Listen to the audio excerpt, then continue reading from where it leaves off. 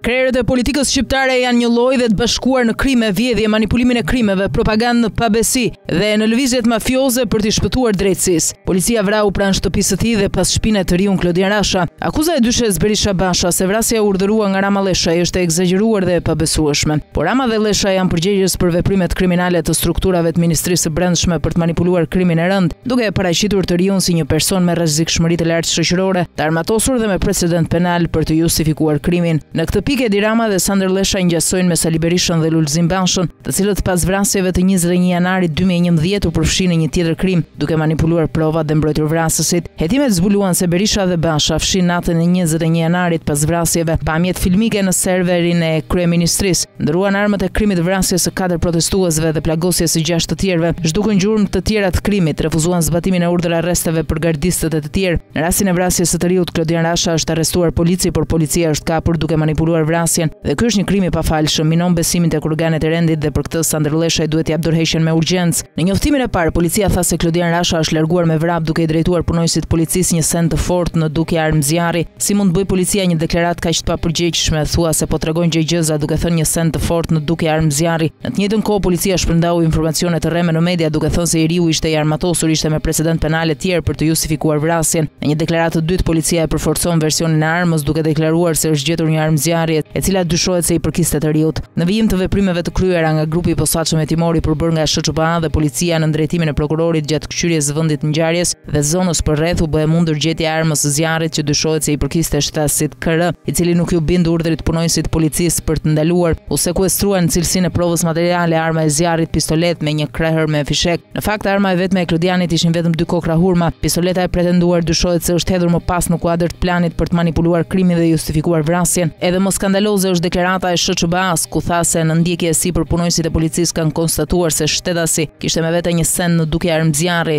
çka ka bërë që patrulla të kërkojë përforcime nga salla operative, duke dhënë rrethanat, adresën dhe karakteristikat e personit që po ndiqnin. Shtetasi KR është larguar me vrap dhe në ndjekje e sipër është përballur me punonjësin e policisë NH, i cili pasi nuk ka arritur të kapë dhe prangosë atë, ka hapur zjarr me armën e shërbimit në drejtim të tij. Për pasojë ky shtetas është plagosur dhe më pas ka gjetur vdekjen në spital, vetëm pasi alibitë ranë njëra pas tjetrës. Ku doli se Klodiani nuk kishte as precedent penal dhe se ishte një i ri paqësor, policia e ndryshoi pllakën. Kur themi policia e kemi fjalën për drejtuesit e saj dhe ministrin. Në emër të punonjësve të Policisë së Shtetit të prekur nga ngjarja e rëndë që ndodhi një ditë më parë në Tiranë e cila përfundoi me vrasjen tragjike të të riut Klodian Rasha, i shprehim ngushëllimet më të sinqerta familjarëve, miqve, të afërmve dhe qytetarëve të lënduar nga ky akt. Pas ngjarjes së ndodhur krahas hetimeve të nisura nga organet e pavarura për zbardhjen e plotë të rrethanave të ngjarjes, strukturat përgjegjëse në Policinë e Shtetit po analizojnë në mënyrë intensive të gjitha shkaqet, veprimet, mosveprimet apo faktorë të tjerë që çuan në incidentin fatal. Policia e Shtetit garanton qytetarët se mbetet e përkushtuar dhe e angazhuar në detyrën e saj për rritjen e sigurisë publike, në mbrojtje të jetës dhe të të drejtave të çdo qytetari, thuhet në deklaratë.